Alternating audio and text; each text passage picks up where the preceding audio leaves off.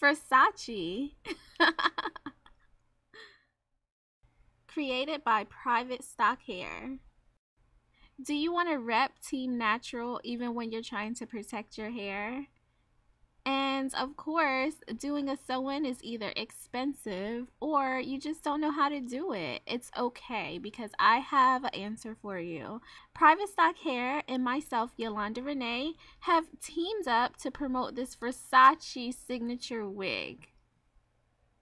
The craftsmanship on this wig is amazing. It comes with clips already inserted, it's a full lace wig and it looks absolutely amazing. It will blend with your hair and scalp easily.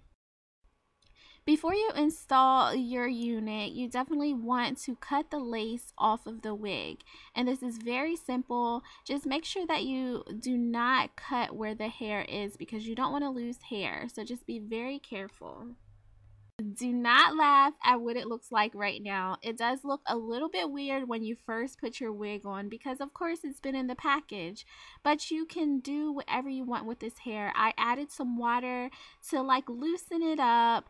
Um, and then I just start throwing it out because of course I want it to be shaped a certain way. This hair, it can be shaped and manipulated in so many different ways.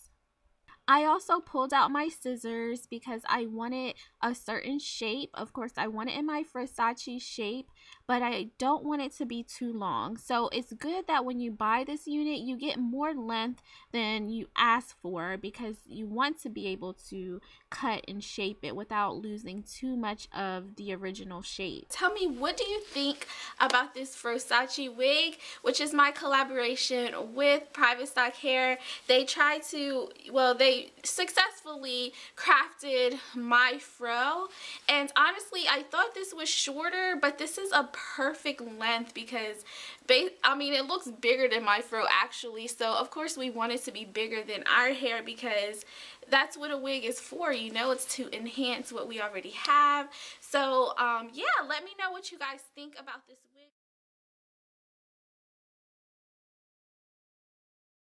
If you're interested in this Frosace wig, this is the Go Natural Texture by Private Stock Hair. It is 12 and 14 inches long. It is definitely virgin hair and this hair is so amazing you guys. You can throw it out to mimic our afro textured hair or you can spritz it down with some water, add some conditioner or other products and it'll revert right back into curls. Definitely go to Private Stock Hair and see all the options and to get your Frosace wig. Thanks for watching, curls. Goodbye.